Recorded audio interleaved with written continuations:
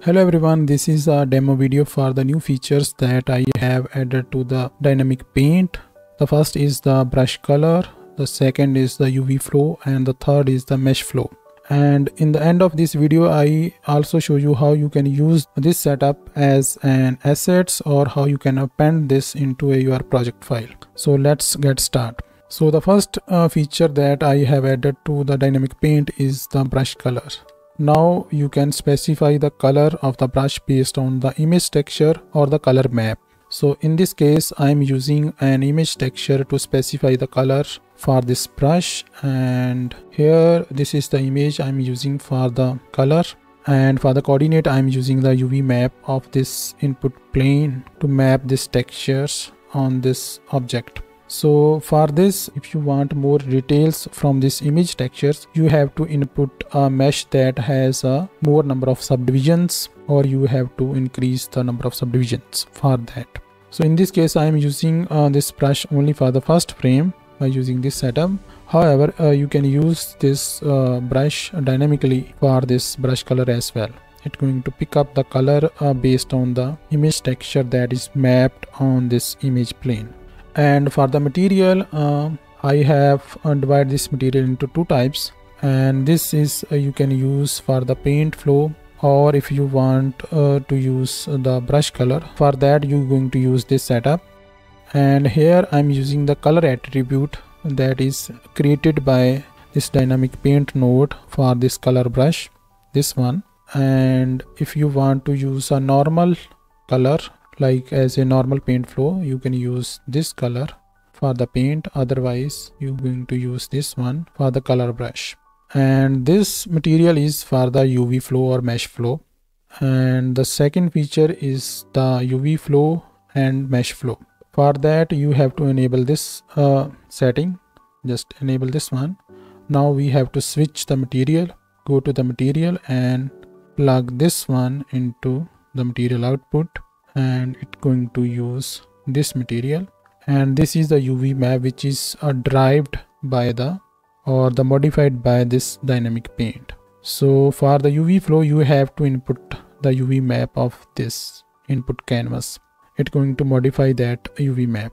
So let me go to the first frame and let also decrease the number of subdivisions so that we can play this see is drifting downward uh, based on this uh, force and you can switch uh, between this UV flow or the mesh flow. Uh, for the mesh flow it works uh, fine for this plane object as well as for the spherical objects. If the mesh is more complex then you should use the paint flow or the UV flow. And uh, like in paint we have paint dam factor. We have also a UV mesh flow dam factor so you can use this uh, similarly that you can drive uh, based on this noise. And you can also uh, smooth the UV maps based on uh, this number of iterations as well as the weight uh, another thing I would like to mention here is that another thing I would like to mention here is that these forces also works uh, for the UV mesh flow. But the brush settings is only for the paint flow. It's not for the UV mesh flow and now I'll show you the how you can append or use this as an assets. So let us first append this setup into a different file. So let's open a new file. Uh, so we have this new file then go to the file append and then navigate on the dynamic paint blend file.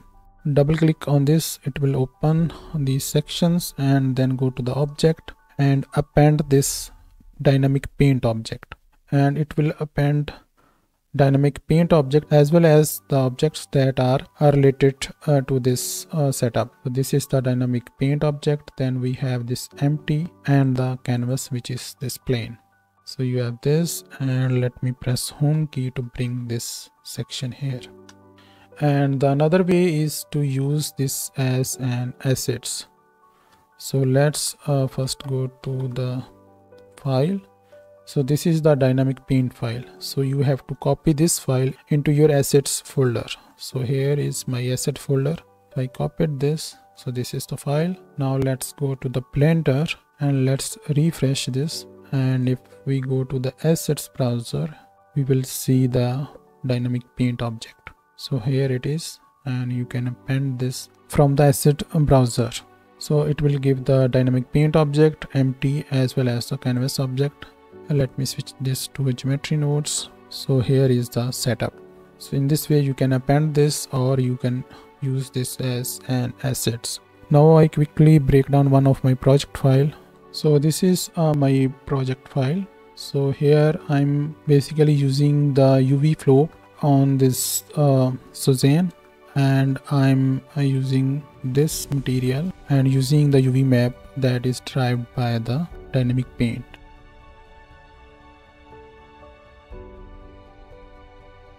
So this is it about this update and you can download uh, this setup from my uh, Patreon page and it is also available on the Blender market as well as on my Gumroad page. So thank you for watching. Until next time, happy noding. Bye.